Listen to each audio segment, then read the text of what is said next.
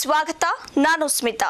ಪೂರ್ವಜರ ಕಾಲದಿಂದ ಕೃಷಿ ವ್ಯವಸಾಯ ಮಾಡಿಕೊಂಡು ಬರುತ್ತಿದ್ದ ಜಮೀನೊಂದು ಏಕಾಏಕಿ ಗ್ರಾಮದ ಮೇಲ್ವರ್ಗದ ಜನಾಂಗದ ಮುಖಂಡನಿಗೆ ಅಧಿಕಾರಿಗಳು ಸಾತ್ನಿಂದ ವರ್ಗಾವಣೆಯಾದ ಘಟನೆಯೊಂದು ಚಿಕ್ಕಬಳ್ಳಾಪುರ ಜಿಲ್ಲೆಯ ಚಿಂತಾಮಣಿ ತಾಲೂಕಿನ ಕುರುಬೂರು ಗ್ರಾಮದಲ್ಲಿ ಬೆಳಕಿಗೆ ಬಂದಿದೆ. ಗ್ರಾಮದ ಶಿವಾನಂದ ಹುಟ್ಟು ಅಂಗವಿಕಲರಾಗಿದ್ದು, ತಮಗೆ ಸೇರಿದ ಸರ್ವೆ ನಂಬರ್ ನೂರ ಇಪ್ಪತ್ತೊಂದು ಬಾರ್ ಒಂದರ ಮೂವತ್ತ ನಾಲ್ಕು ಗುಂಟೆ ಜಮೀನನ್ನು ಗ್ರಾಮದ ಮುನಿಶಾಮಿ ಗೌಡ ಎಂಬುವವರಿಗೆ ಭೋಗ್ಯಕ್ಕೆ ಕೊಟ್ಟು ಜೀವನವನ್ನು ನಡೆಸಿಕೊಂಡು ಬರುತ್ತಿರುತ್ತಾರೆ. ಆದರೆ ಅಜ್ಜಿಯ ಮರಣದ ನಂತರ ಖಾತೆ ಬದಲಾವಣೆ ಮಾಡದ ಹಿನ್ನೆಲೆ ಗ್ರಾಮದ ಒಕ್ಕಲಿಗ ಜನಾಂಗಕ್ಕೆ ಸೇರಿದ ಮುನಿಶಾಮಿ ಗೌಡ ಕೈಬರಹದಲ್ಲಿ ಮೂವತ್ನಾಲ್ಕು ಗುಂಟೆ ಜಮೀನನ್ನು ಗ್ರಾಮ ಲೆಕ್ಕಾಧಿಕಾರಿ ಶಶಿಕಲಾ ಸಹಕಾರದಿಂದ ಅಕ್ರಮವಾಗಿ ಪೌತಿ ಖಾತೆ ಬದಲಾವಣೆಯಾಗಿದೆ.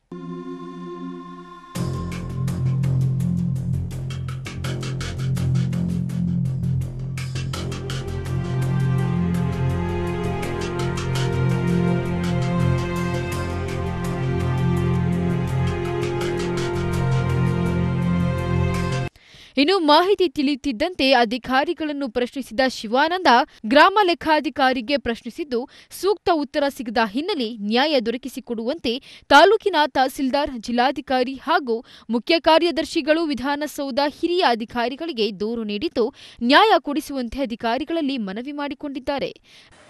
ನನ್ನ ಹೆಸರು ಶಿವಾನಂದ ಅಂತ. ಎ ಕೆ ಅವರ ಮಗ ಕುರುಬೂರು ಗ್ರಾಮ.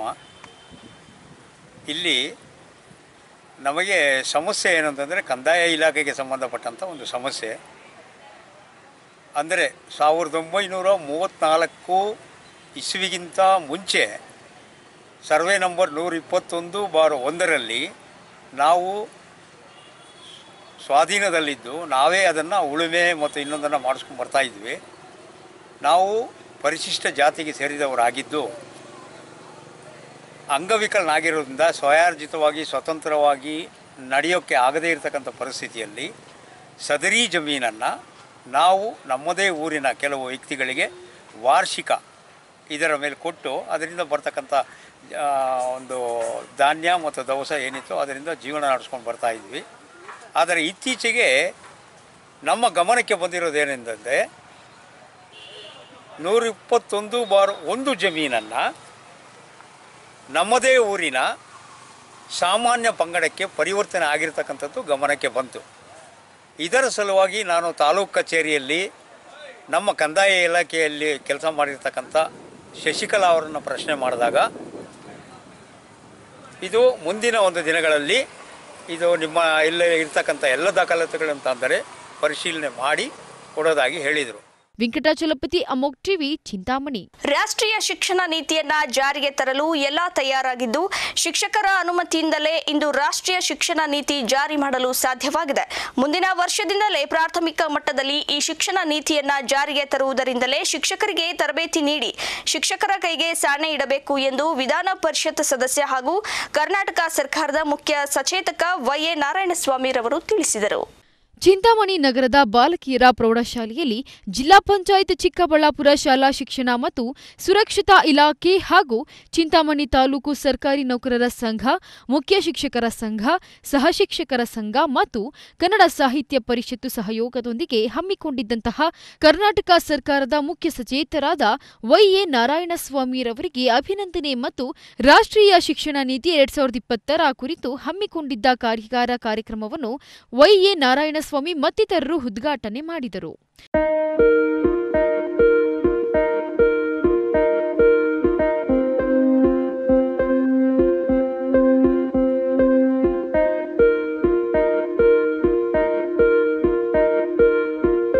ಇನ್ನು ಈ ವೇಳೆ ಕಾರ್ಯಕ್ರಮವನ್ನು ಉದ್ದೇಶಿಸಿ ವೈಎ ನಾರಾಯಣಸ್ವಾಮಿ ಮಾತನಾಡಿ, ನನ್ನ ರಾಜಕೀಯ ಜೀವನಕ್ಕೆ ಹೆಚ್ಚು ಒತ್ತು ಕೊಟ್ಟ ತಾಲೂಕುಗಳಲ್ಲಿ ಚಿಂತಾಮಣಿ ಅಗ್ರಸ್ಥಾನದಲ್ಲಿದೆ. ಇಲ್ಲಿ ನಮಗೆ ಹೆಚ್ಚು ನೆಂಟರು ಸಹ ಇದ್ದಾರೆ. ಅಪ್ಪ ಹಾಕಿದ ಆಲದ ಮರ ಮಾಸು ಹಳೆಯ ಪದ್ಧತಿಯಲ್ಲೇ ವಿದ್ಯಾಭ್ಯಾಸ ಮಾಡಿದರೆ ವಿದ್ಯಾರ್ಥಿಗಳು ಉದ್ಧಾರ ಆಗುವುದು ಯಾವಾಗ? ಬಹುಮುಖಿ ಪ್ರತಿಭೆಗಳಾಗುವುದು ಯಾವಾಗ? ವಿದ್ಯಾರ್ಥಿಗಳಲ್ಲಿ ಬಹುಮುಖಿ ಪ್ರತಿಭೆಯನ್ನು ಹೊರತರಲು ಹಾಗೂ ಎಲ್ಲ ರೀತಿಯ ವಿದ್ಯೆ ಕಲಿಯಲು ಅವಕಾಶ ಕಲ್ಪಿಸುವ ಶಿಕ್ಷಣ ಪದ್ಧತಿಯೇ ರಾಷ್ಟ್ರೀಯ ಶಿಕ್ಷಣ ನೀತಿ ಎಂದರು. ಶಿಕ್ಷಕ ಯಾವಾಗಲೂ ವಿದ್ಯಾರ್ಥಿ ಮನಸ್ಸಲ್ಲಿ. ವಿದ್ಯಾರ್ಥಿ ಅಂದ್ಕೊಂಡಾಗಲೇ ಕಲಿಕೆಯ ಹವ್ಯಾಸ, ಅಭ್ಯಾಸ ಆಗಿ ಮುಂದುವರ್ಕೊಂಡು ಹೋಗ್ತಾರೆ. ಯಾವ ಶಿಕ್ಷಕ ಶಿಕ್ಷಕರಿಗೆ, ಉಪನ್ಯಾಸಕರಿಗೆ, ಮತ್ತೆ ಯಾರಿಗೆ ಪಾಠ ಮಾಡೋ ವ್ಯಕ್ತಿಗೆ ಓದಬೇಕು ಅನ್ನೋ ಹವ್ಯಾಸ ಇಲ್ಲ, ಇರುವುದಿಲ್ಲವೋ, ಅವರು ಒಳ್ಳೆಯ ಶಿಕ್ಷಕರಾಗದೆ ಆಗಕ್ಕೆ ಸಾಧ್ಯ ಇಲ್ಲ. ಮರೆಯಕ್ಕೆ ಮುನ್ನ ನಿವೃತ್ತಿ ಹೊಂದಿದ ಎಲ್ಲ ಶಿಕ್ಷಕರು ಬಂದಿದ್ದಾರೆ. ಅವರನ್ನು ಜ್ಞಾಪಕ ಮಾಡಿಕೊಂಡ್ರೆ ಈ ಐದು ಜಿಲ್ಲೆಗಳ, ಆರು ಶೈಕ್ಷಣಿಕ ಜಿಲ್ಲೆಗಳು, ಐದು ಕಂದಾಯ ಜಿಲ್ಲೆಗಳಲ್ಲಿ ಚಿಂತಾಮಣಿ ತಾಲೂಕು ವಿಶೇಷವಾದ ತಾಲೂಕು. ವಿಶೇಷವಾದ ತಾಲೂಕು ಚಿಂತಾಮಣಿ ನನಗೂ ಮತ್ತು ಚಿಂತಾಮಣಿಗೂ ಅವಿನಾಭಾವ ಸಂಬಂಧ. ನಾನು ಎಂ ಎಸ್ ಸಿ ಆಗ್ತೀನಿ, ಇವೆಲ್ಲ ಎಂ ಎಸ್ ಸಿ ಮಾಡ್ತೀನಿ ನನಗೆ ಗೊತ್ತಿರಲಿಲ್ಲ. ಆದರೂ ನಾನು ಸೆಕೆಂಡ್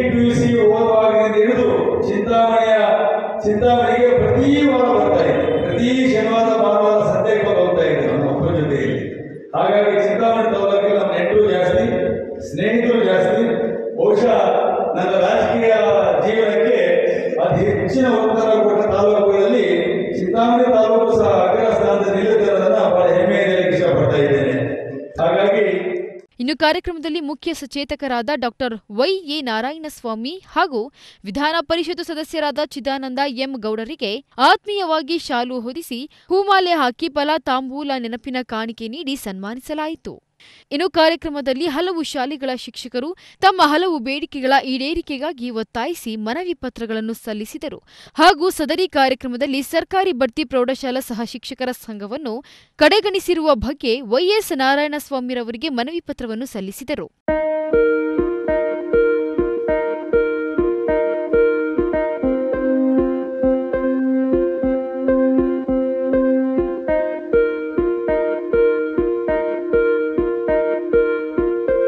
ಇನ್ನು ಈ ಸಂದರ್ಭದಲ್ಲಿ ಶಿಕ್ಷಣ ಇಲಾಖೆಯ ಜಿಲ್ಲಾ ಉಪನಿರ್ದೇಶಕ ಜಯರಾಮ್ ರೆಡ್ಡಿ ಬಿಇಒ ವೆಂಕಟೇಶಪ್ಪ ಕನ್ನಡ ಸಾಹಿತ್ಯ ಪರಿಷತ್ತು ಜಿಲ್ಲಾಧ್ಯಕ್ಷ ಪ್ರೊಫೆಸರ್ ಕೋಡಿರಂಗಪ್ಪ ಹಿರಿಯ ಉಪನ್ಯಾಸಕ ರಾಘವೇಂದ್ರ ಸೇರಿದಂತೆ ಎಲ್ಲಾ ಶಿಕ್ಷಕರು ಮತ್ತಿತರರು ಉಪಸ್ಥಿತರಿದ್ದರು. ವೆಂಕಟಾಚಲಪತಿ ಅಮೋಕ್ ಟಿವಿ ಚಿಂತಾಮಣಿ. ಶ್ರೀ ನಿರ್ಮಲಾನಂದನಾಥ ಸ್ವಾಮೀಜಿಗಳ ಹುಟ್ಟುಹಬ್ಬದ ಆಚರಣೆ ಕಾರ್ಯಕ್ರಮದಲ್ಲಿ ನಗರಸಭಾ ಅಧ್ಯಕ್ಷರಿಂದಲೇ ಎಡವಟ್ಟಾಗಿರುವ ಘಟನೆ ನಡೆದಿದೆ. ಅಷ್ಟಕ್ಕೂ ಇಲ್ಲಿ ಏನು ನಡೆಯಿತು ಎಂಬುದು ತೋರಿಸಿವೆ ನೋಡಿ. ಚಿಕ್ಕಬಳ್ಳಾಪುರ ನಗರದ ಸಿಎಸ್ ಆಸ್ಪತ್ರೆ ರಸ್ತೆಯಲ್ಲಿ ಶ್ರೀ ನಿರ್ಮಲಾನಂದನಾಥ ಸ್ವಾಮಿಗಳ ಹುಟ್ಟುಹಬ್ಬದ ಹಿನ್ನೆಲೆಯಲ್ಲಿ ಗಿಡ ನೆಡುವ ಕಾರ್ಯಕ್ರಮವನ್ನು ಹಮ್ಮಿಕೊಳ್ಳಲಾಗಿತ್ತು. ಮುಖ್ಯ ಅತಿಥಿಯಾಗಿ ಆಗಮಿಸಿದ್ದ ನಗರಸಭಾ ಅಧ್ಯಕ್ಷ ಆನಂದ್ ಬಾಬು ಅವರು ಗಿಡ ನೆಡುವ ಮೂಲಕ ಕಾರ್ಯಕ್ರಮವನ್ನು ಯಶಸ್ವಿಯಾಗಿ ನಡೆಸಿದರು. ಆದರೆ ಈಗ ಅದೇ ಕಾರ್ಯಕ್ರಮದಿಂದ ಸಾರ್ವಜನಿಕ ವಲಯದಲ್ಲಿ ತೀವ್ರ ಚರ್ಚೆಯ ವಿಷಯವೊಂದು ಹರಿದಾಡುತ್ತಿದೆ. ಗಿಡಗಳನ್ನ ನೆಟ್ಟಿರುವ ಜಾಗದಲ್ಲಿ ಬೆಸ್ಕಾಂ ವಿದ್ಯುತ್ ಲೈನ್ ಹಾದು ಹೋಗಿದ್ದು ಗಿಡಗಳು ಮರವಾದ ಬಳಿಕ ಅವುಗಳನ್ನು ಮತ್ತೆ ಕತ್ತರಿಸುವ ಪ್ರಮೇಯ ಬರುತ್ತದೆ. ಆದರೆ ಇದು ಸ್ವತಃ ನಗರಸಭಾ ಅಧ್ಯಕ್ಷರ ಗಮನಕ್ಕೆ ಬರಲಿಲ್ಲವೇ? ಎಂಬುದು ಸಾರ್ವಜನಿಕರ ಪ್ರಶ್ನೆಯಾಗಿದೆ. ನಗರದಲ್ಲಿ ದಿನೇ ದಿನೇ ಮರಗಳಿಗೆ ಕೊಡಲಿ ಹಾಕುತ್ತಿದ್ದು, ಈಗ ಸ್ವತಃ ನಗರಸಭಾ ಅಧ್ಯಕ್ಷರೇ ಈ ರೀತಿ ವಿದ್ಯುತ್ ಲೇನ್ ಆದು ಹೋಗಿರುವ ತಂತಿಗಳ ಕೆಳಗಡೆ ಗಿಡ ನೆಟ್ಟು ವಿವಾದದ ಕೇಂದ್ರ ಬಿಂದು ಆಗಿದ್ದಾರೆ ಅಲ್ಲಿ ಗಿಡ ನೆಟ್ಟು ಮರವಾದ ಬಳಿಕ ಅದಕ್ಕೆ ಕೊಡಲಿ ಏಟು ಬೀಳುವುದು ಅನಿವಾರ್ಯ ಅಂದ ಮೇಲೆ ಇದೆಲ್ಲ ಗೊತ್ತಿದ್ದು ಕಾಟಾಚಾರಕ್ಕೆ ಈ ರೀತಿ ಮಾಡುವುದು ಎಷ್ಟು ಸರಿ ಎಂದು ಸಾರ್ವಜನಿಕರು ಪ್ರಶ್ನಿಸುತ್ತಿದ್ದಾರೆ. ಒಟ್ಟಾರೆ ನಗರದ ಪ್ರಥಮ ಪ್ರಜೆಯಾದ ನಗರಸಭಾ ಅಧ್ಯಕ್ಷರೇ ಈ ರೀತಿ ಮಾಡಿರುವುದು ಪರಿಸರವಾದಿಗಳ ಆಕ್ರೋಶಕ್ಕೆ ಕಾರಣವಾಗಿದೆ. ಎನ್ ಸತೀಶ್ ಅಮೋಕ್ ಟಿವಿ ಚಿಕ್ಕಬಳ್ಳಾಪುರ. ಕೇಂದ್ರದ ಮಾಜಿ ಸಚಿವ ಕೋಲಾರ ಸಭಾ ಕ್ಷೇತ್ರದ ಕಾಂಗ್ರೆಸ್ನ ಪ್ರಭಾವಿ ನಾಯಕರು ಆಗಿರುವ ಕೆಎಚ್ ಮುನಿಯಪ್ಪ ಅವರು ತಮ್ಮ ಹುಟ್ಟೂರು ಶಿಡ್ಲಘಟ್ಟ ತಾಲೂಕಿನ ಕಂಬದಹಳ್ಳಿಯಲ್ಲಿ ನಡೆದ ಗ್ರಾಮದ ಜಾತ್ರೆಗೆ ಬಿಜೆಪಿಯ ಪ್ರಭಾವಿ ಮುಖಂಡರನ್ನ ಊಟಕ್ಕೆ ಆಹ್ವಾನಿಸಿದ್ದು ರಾಜಕೀಯವಾಗಿ ತೀವ್ರ ಚರ್ಚೆಗೆ ಗ್ರಾಸವಾಗ್ತಾ ಇದೆ. ಕಾಂಗ್ರೆಸ್ ನಾಯಕರಿಗೆ ಟಕ್ಕರ್ ಕೊಡಲೆಂದು ಕೆಎಚ್ ಮುನಿಯಪ್ಪರವರು ಬಿಜೆಪಿ ಹಾಗೂ ಜೆಡಿಎಸ್ ನಾಯಕರನ್ನು ತಮ್ಮ ಮನೆಗೆ ಊರ ಜಾತ್ರೆಯ ಊಟದ ನೆಪದಲ್ಲಿ ಆಹ್ವಾನಿಸಿದ್ದಾರೆ ಎನ್ನುವ ಮಾತುಗಳು ರಾಜಕೀಯ ಪಡಸಾಲೆಯಲ್ಲಿ ಜೋರಾಗಿ ಕೇಳಿಬರುತ್ತಿದೆ. ರಾಜ್ಯ ಹಾಗೂ ಕೇಂದ್ರದ ಕಾಂಗ್ರೆಸ್ನಲ್ಲಿ ತಮ್ಮದೇ ಆದ ವರ್ಚಸ್ಸು ಶಕ್ತಿ ಹೊಂದಿರುವ ಕೇಂದ್ರದ ಮಾಜಿ ಸಚಿವ ಕೆಎಚ್ ಮುನಿಯಪ್ಪ ಅವರನ್ನು ಕಳೆದ ಲೋಕಸಭೆ ಚುನಾವಣೆ ನಂತರ ಕಾಂಗ್ರೆಸ್ನಲ್ಲಿ ಮೂಲೆ ಗುಂಪು ಮಾಡಲಾಗುತ್ತಿದೆ ಎನ್ನುವ ಮಾತುಗಳು ಕೇಳಿಬರುತ್ತಿರುವ ಸಮಯದಲ್ಲೇ ಊರ ಜಾತ್ರೆಯ ನೆಪದಲ್ಲಿ ಸಚಿವರಾದ ಡಾಕ್ಟರ್ ಕೆ ಸುಧಾಕರ್ ಶ್ರೀನಿವಾಸ್ಪುರ ಮಾಜಿ ಶಾಸಕ ವೆಂಕಟಶಿವರೆಡ್ಡಿ ಜೆಡಿಎಸ್ ಶಾಸಕ ಜೆಕೆ ಕೃಷ್ಣಾರೆಡ್ಡಿ ಅವರನ್ನು ತಮ್ಮ ಮನೆಗೆ ಊಟಕ್ಕಾಗಿ ಆಹ್ವಾನಿಸಿ ಕಾಂಗ್ರೆಸ್ ನಾಯಕರಿಗೆ ಟಕ್ಕರ್ ನೀಡಿದ್ದಾರೆ. ಬಹಳ ವಿಶೇಷವಾಗಿರ್ತಕ್ಕಂಥ ದೇವಸ್ಥಾನ ಕಾಳಿಕಾಂಬ ಮತ್ತು ಶಿವನ ದೇವಸ್ಥಾನನ ಬಹಳ ಅದ್ಭುತವಾಗಿ ನಿರ್ಮಾಣ ಕಳೆದ ಎರಡು ತಿಂಗಳಿಂದನೇ ಜೀವನ ಹಾಗಾಗಿ ಇವತ್ತು ವರ್ಷ ವರ್ಷ ಅವರು ಜಾತ್ರೆಯನ್ನು ಮಾಡ್ತಾರೆ. ಅದಕ್ಕೆ ಇಲ್ಲಿನ ಸ್ಥಳೀಯ ನಾಯಕರು, ಇದೇ ಗ್ರಾಮದವರು, ನಮ್ಮೆಲ್ಲರ ಹಿರಿಯ ನಾಯಕರಾಗಿ ಮಾನ್ಯ ಕೆ ಎಚ್ ಮುನಿಯಪ್ಪ ಮತ್ತು ನಮ್ಮ ಪಕ್ಷದ ಮಂಡಲಾಧ್ಯಕ್ಷರು ಕೂಡ ಇದೇ ಗ್ರಾಮ. ಇಬ್ಬರು ಕೂಡ ನನಗೆ ದೇವಸ್ಥಾನಕ್ಕೆ ಬಂದು ಆಶೀರ್ವಾದ ತಗೊಂಡು ಜಾತ್ರೆಗೆ ಬರಬೇಕು. ನಮ್ಮದು ಕೆ ಎಚ್ ಮುನಿಯಪ್ಪನವ್ರ ಸಂಬಂಧ, ನಮ್ಮ ತಂದೆಯವರ ಕಾಲದಿಂದ ಐವತ್ತು ವರ್ಷಕ್ಕೂ ಹೆಚ್ಚು ಆ, ಒಡನಾಟ ಮಧ್ಯಸ್ಥನ ಸಂಬಂಧ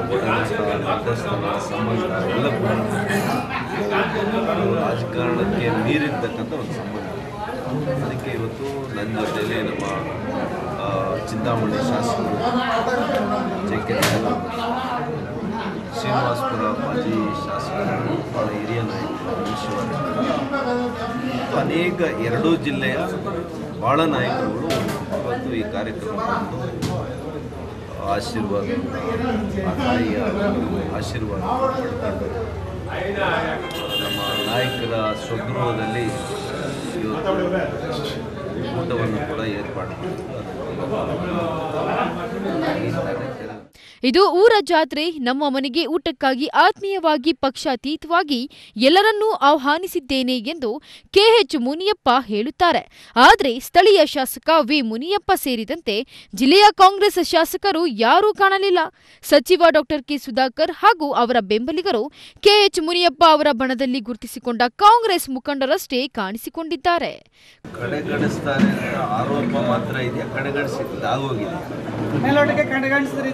ಅಂತ ಕಡೆಗಣಿಸಿದ್ದಾಗೋಗಿದೆ ಅಲ್ವಾ?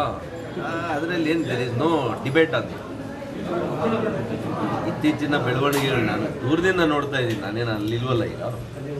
ಹಾಗಾಗಿ ದೂರದಿಂದ ನಾನು ನೋಡಿದಾಗ ಎರಡು ಬಾರಿ ಕೇಂದ್ರ ಸಚಿವರು, ಏಳು ಬಾರಿ ಸತತವಾಗಿ ಸಂಸದರಾಗಿರುವಂಥವ್ರು ಸಿ ಡಬ್ಲ್ಯೂ ಸಿ ಮೆಂಬರ್ ಆಗಿರುವಂಥವರು ಅವರನ್ನು ಯಾವ ರೀತಿ ನಡೆಸ್ಕೊಳ್ತಾ ಇದ್ದಾರೆ, ಯಾವ ರೀತಿ ಕಡೆಗಾಣಿಸಿದ್ದಾರೆ ಕಾಂಗ್ರೆಸ್ ಅನ್ನೋದು ರಾಜ್ಯದ ಜನತೆ ನೋಡಿದೆ, ಈ ಭಾಗದ ಜನರು ನೋಡಿದ್ದಾರೆ. ಅವರು ರಾಜಕಾರಣವನ್ನು ಪಕ್ಷಾತೀತವಾಗಿ ಮಾಡಿರುವಂಥ ನಾಯಕರು ಇವತ್ತು ಸಾಮಾಜಿಕ ನ್ಯಾಯ, ಸಮಾನತೆ, ಅಭಿವೃದ್ಧಿ ಮೂರೇ ಮಂತ್ರ ಅವರದಿದ್ದು ಅದಕ್ಕೆ ಜನಾನುರಾಗಿ ಇಲ್ಲ ಏಳು ಬಾರಿ ಗೆಲ್ಲುವಂಥದ್ದು ಸುಮ್ಮನೆ ಹೇಳ್ದಂಗಲ್ಲ ಪಕ್ಷನ ಬಹಳ ತಳಹಂತದಿಂದ ಕಟ್ಟಿದ್ರು ಸದೃಢವಾಗಿ ಕಟ್ಟಿದ್ರು ಕೋಲಾರ ಚಿಕ್ಕಬಳ್ಳಾಪುರ ಕೋಟಹಳ್ಳಿ ಅನಿಲ್ ಕುಮಾರ್ ಅಮೋಕ್ ಟಿವಿ ಶಿಡ್ಲಘಟ್ಟ. ತಿಪಟೂರು ತಾಲೂಕಿನ ಹುಚ್ಚನಟ್ಟಿ ಅಂಡರ್ ಪಾಸ್ ಬಳಿ ಜಲ್ಲಿ ತುಂಬಿದ ಕ್ರಷರ್ ಲಾರಿ ಮತ್ತು ಬೈಕ್ ನಡುವೆ ಅಪಘಾತ ಸಂಭವಿಸಿದ್ದು. ಹಳೇಪಾಳ್ಯ ಎಸ್ಸಿ ಕಾಲೋನಿಯ ರಂಗಸ್ವಾಮಿ ಅಪಘಾತದಲ್ಲಿ ಮೃತಪಟ್ಟಿದ್ದಾರೆ.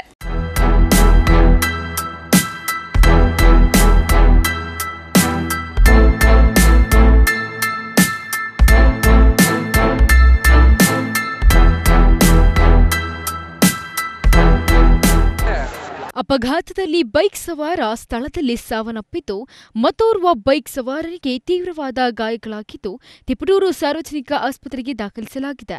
ಮೃತ ವ್ಯಕ್ತಿ ಹಸುವಿಗೆ ಮೇವನ್ನು ಕೊಯ್ದುಕೊಂಡು ಹೋಗುವಾಗ ಅಂಡರ್ಪಾಸ್ನಲ್ಲಿ ಯಾವುದೇ ರಸ್ತೆ ನಿಬಂಧನೆಗಳು ಆಗಲಿ, ರಸ್ತೆ ಹುಬ್ಬುಗಳು ಇಲ್ಲದೆ ಇರುವ ಕಾರಣ ದಿಢೀರ್ನಂತೆ ಬಂದ ಜಲ್ಲಿ ತುಂಬಿದ ಕ್ರಷರ್ ಲಾರಿ ಬೈಕ್ ಸವಾರನ ಮೇಲೆ ಹರಿದು ಸ್ಥಳದಲ್ಲಿ ಸಾವನ್ನಪ್ಪಿದ್ದಾರೆ ಎಂದು ಶಂಕೆ ವ್ಯಕ್ತವಾಗಿದೆ.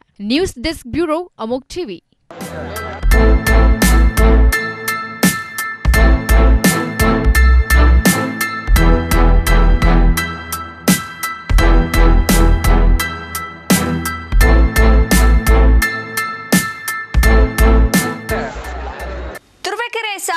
ಕೇಂದ್ರಕ್ಕೆ ಪ್ರತಿದಿನ ನೂರಾರು ಮಂದಿ ತಾಲೂಕಿನ ಮೂಲೆ ಮೂಲೆಯಿಂದ ಚಿಕಿತ್ಸೆಗೆಂದು ಬರುತ್ತಾರೆ.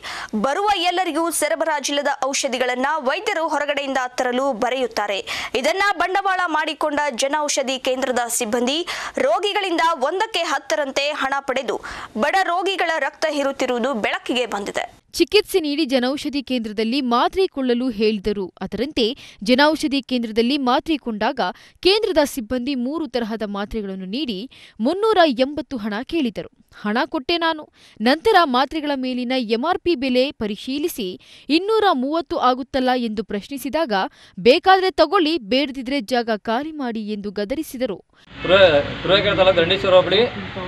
ಗ್ರಾಮ ಸುನಿಲ್ ಅಂತ. ನಾವಿಲ್ಲಿ ನಮ್ಮ ಮಿಸ್ಸಸ್ನ ಆಸ್ಪತ್ರೆಗೆ ಅಂತ ಕರ್ಕೊಂಬಂದಿದ್ದೆ ಅವರು ಡೆಲಿವರಿ ಆಗಿದೆ. ಡೆಲಿವರಿ ಆಗಿರೋ ಕರ್ಕೊಂಬಂದಿರೋ ಹೊತ್ತಿಗೆ ಟ್ಯಾಬ್ಲೆಟ್ ಬರ್ಕೊಟ್ರು. ಟ್ಯಾಬ್ಲೆಟ್ ತೊಗೊಂಡು ಇಲ್ಲಿ ಟ್ಯಾಬ್ಲೆಟ್ ತೊಗೊಂಡೋಗೋಣ ಅಂತ ಬರೋ ಹೊತ್ತಿಗೆ ಟ್ಯಾಬ್ಲೆಟ್ ಕೊಟ್ಟರು ಟ್ಯಾಬ್ಲೆಟ್ ಕೊಟ್ಟು ಬಿಲ್ ಹಾಕ್ಕೊಟ್ರು ಬಿಲ್ ಹಾಕ್ಕೊಟ್ಟು ಎಷ್ಟು ಅಂತ ಹೇಳೋದಕ್ಕೆ ಟೋಟಲ್ ಎಲ್ಲ ಮುನ್ನೂರ ಎಂಬತ್ತು ಅಂತ ಅಂದರು. ಮುನ್ನೂರ ಎಂಬತ್ತು ಯಾವುದಕ್ಕೆ ಏನೋದಕ್ಕೆ ನೂರ ಹದಿನೆಂಟು ಅಂದರು. ಇದು ತೊಂಬತ್ತೆಂಟು, ಇದು ಐವತ್ತು ಅಂದರು. ಸರಿ, ಆಯಿತು ಅಂತ ಹೇಳ್ಬಿಟ್ಟು ಪೂರ್ತಿ ಎಲ್ಲ ಅಮೌಂಟ್ ಕೊಟ್ಟೆ. ಅಮೌಂಟ್ ಕೊಟ್ಟಾದ್ಮೇಲೂ ನಾನು ಬಿಲ್ ನೋಡಿದೆ ಬಿಲ್ ನೋಡಿದ ಮೇಲೆ ಇದ್ರಲ್ಲಿ ಹದಿನೆಂಟು ರೂಪಾಯಿ ಇತ್ತು. ಹದಿನೆಂಟು ರೂಪಾಯಿ ಇದ್ದಿದ್ದು ಅವ್ರಿಗೆ ಸಹ ಇದ್ರಲ್ಲಿ ಹದಿನೆಂಟು ರೂಪಾಯಿ ಇದೆ. ಏನು ನೂರ ಹದಿನೆಂಟು ರೂಪಾಯಿ ತೊಗೊತಾ ಇದ್ದೀರ ಅನ್ನೋದಕ್ಕೆ ಇಲ್ಲ, ಇದ್ರಲ್ಲಿ ಬಂದಿರೋದೇ ಇದು ನೂರ ಹದಿನೆಂಟು ರೂಪಾಯಿ. ನಾವು ಅದ್ರ ಏನು ಮಾಡೋಕ್ಕಾಗಲ್ಲ ಅಂತ ಅಂದರು. ಆಯಿತು ಸರ್, ಅದು ಇನ್ನೂ ಬಾಕ್ಸ್ ಇದೆಯಲ್ಲ ಬಾಕ್ಸ್ ಕೊಡಿ. ಅದ್ರಲ್ಲಿ ಕರೆಕ್ಟಾಗಿರುತ್ತಲ್ಲ ಅದು ನೋಡೋಕೆ ಕೊಡಿ ಅನ್ನೋದಕ್ಕೆ. ಅದನ್ನೆಲ್ಲ ಕೊಡೋಕ್ಕಾಗಲ್ಲ, ನಿಮ್ಗೆ ಅದನ್ನೆಲ್ಲ ಕೊಡೋಂಗಿಲ್ಲ ನಾವು. ಅದ್ರ ಏನು ಕೊಡೋಂಗಿಲ್ಲ ಅಂತ ಕ್ವಶನ್ ಮಾಡೋದಕ್ಕೂ ಅದನ್ನ ನೀವು ಕೇಳೋಂಥ ಅವಶ್ಯಕತೆ ಇರಲ್ಲ. ನಿಮ್ಮದು ನೂರ ಹದಿನೆಂಟು ರೂಪಾಯಿ ಇದೆ, ಕೊಟ್ಬಿಟ್ಟು ತೊಗೊಂಡೋಗಿ ಅಂತ ಅವರು ಸೊ ಇಲ್ಲ, ನನಗೆ ಎಷ್ಟು ನಾನು ಅಮೌಂಟ್ ಕೊಡಲ್ಲ ಅನ್ನೋದಕ್ಕೆ ತಿರೋದು ಟ್ಯಾಬ್ಲೆಟ್ ಇಸ್ಕೊಂಬಿಟ್ಟು ಜೋಬಳಿಗೆ ಮಡಿಕೊಂಡಿದ್ದಾರೆ ಅದನ್ನು. ಜೋಬಳಿಗೆ ಮಡಿಕೊಂಡು ಯಾವುದೇ ರೀತಿ ಕೊಡ್ತಾ ಇಲ್ಲ. ಪ್ಲಸ್ ಇದು ಐವತ್ತು ರೂಪಾಯಿ. ಕ್ರೀಮ್ ಬಂದ್ಬಿಟ್ಟು ಇದು ಐವತ್ತು ರೂಪಾಯಿ. ಐವತ್ತು ರೂಪಾಯಿಗೆ ಐವತ್ತೈದು ರೂಪಾಯಿ ಕೇಳ್ತಾ ಇದ್ದಾರೆ. ಐದು ರೂಪಾಯಿ ಏನಕ್ಕೆ ಎಕ್ಸ್ಟ್ರಾ ಅಂತ ಕೇಳಿದ್ರೆ ಇದು ನಮಗೆ ಕೊರಿಯರ್ ಚಾರ್ಜಸ್ ಬರುತ್ತೆ ಸರ್. ಕೊರಿಯರ್ ಚಾರ್ಜಸ್ ಬರೋದ್ರಿಂದ ನಾನು ಐದು ರೂಪಾಯಿ ತಗೊಳ್ಳೇಬೇಕು. ಕೊಡಿ ಅಂತ ಹೇಳ್ಬಿಟ್ಟು ಇಸ್ಕೊಂಡಿದ್ದಾರೆ ಟೋಟಲ್ ನಾನ್ನೂರು ರೂಪಾಯಿ ಅಮೌಂಟ್ ಕೊಟ್ಟಿದ್ದೀನಿ ಅವರಿಗೆ. ಇಲ್ಲಿ ನಮ್ಮ ತುರುವೇಕೆರೆಯಲ್ಲಿ ನಮ್ಮ ಶಾಸಕರಿಗೆ ಸಹ ಫೋನ್ ಮಾಡಿ ಕೇಳಿಸ್ತು. ಮತ್ತೆ ಮಾಜಿ ಅಧ್ಯಕ್ಷ ಪಟ್ಟಣ ಪಂಚಾಯತ್ ಅಧ್ಯಕ್ಷರು ಚಿದಾನಂದಣ್ಣ ಅವ್ರಿಗೂ ಸಹ ಫೋನ್ ಮಾಡಿ ಹೇಳಿಸ್ತೀವಿ ಅವ್ರು ಹೇಳಿದ್ರು ಅವರಿಗೆ ಕೊಡ್ತೀವಿ ಅಂತ ಹೇಳ್ತಾರೆ ಆಮೇಲೆ ಕೊಡೋದೇ ಇಲ್ಲ. ನೀವು ಆಮೇಲೆ ಯಾರು ಯಾರಿಗೆ ಹೇಳ್ತೀರಿ ಹೇಳ್ಕೊಳ್ಳಿ ನಾವು ಕೊಡಲ್ಲ ಅಂದ್ಮೇಲೆ ಕೊಡಲ್ಲ ಅಂತೇಳಿ ಟ್ಯಾಬ್ಲೆಟ್ ಸಾರ್ವಜನಿಕರು ಯಾರೇ ಬಂದು ನಾನು ಶಾಸಕರಿಗೆ ದೂರವಾಣಿ ಮೂಲಕ ಸಂಪರ್ಕಿಸಿ, ವಿಚಾರ ಮುಟ್ಟಿಸಿ ಈತನ ವಿರುದ್ಧ ದೂರು ನೀಡಿದ್ರೂ ಯಾವುದೇ ಪ್ರಯೋಜನವಾಗದೆ ನನ್ನನ್ನೇ ನಿಂದಿಸಿದರು. ನನ್ನಂತಹ ವಿದ್ಯಾವಂತರಿಗೆ ಈ ರೀತಿ ಮಾಡಿದರೆ ಇನ್ನ ಅನಕ್ಷರಸ್ಥ ಬಡ ರೋಗಿಗಳ ಕಥೆಯೇನು ಕೂಡಲೇ ಈತನ ವಿರುದ್ಧ ಶಿಸ್ತು ಕ್ರಮ ತೆಗೆದುಕೊಳ್ಬೇಕು ಎಂದು ಒತ್ತಾಯಿಸಿದ್ದಾರೆ ಅಲ್ಲಿನ ಗ್ರಾಮಸ್ಥರು. ಇನ್ನಾದರೂ ಅಧಿಕಾರಿಗಳು ಇತ್ತ ಗಮನ ಹರಿಸಿ ನೀನು.